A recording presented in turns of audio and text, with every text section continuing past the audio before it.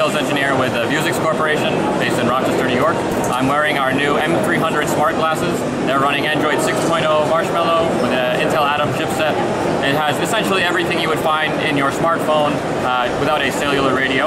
These are used primarily in enterprise use cases such as warehousing, manufacturing, field service, telemedicine, really anywhere where someone can benefit from hands-free access to digital information and collaborative tools. Uh, at the core of many of our use cases, you take the video from this device, stream it to a remote expert, so they may be able to help you with a problem you're facing uh, without needing to bring them out to you wherever they may be. So it extends the, the reach of your experts and uh, you're able to solve problems more efficiently across your enterprise. So this is the M300 smart glasses. Uh, it has an Intel Atom chipset running Android 6.0 Marshmallow. We have Wi-Fi, Bluetooth, GPS, a touchpad here. We have a, a sophisticated voice control engine. Uh, you can scan barcodes with the camera. Uh, it's an NHD resolution display with a 20 degree field of view. We have a gyroscope, accelerometer, magnetometer,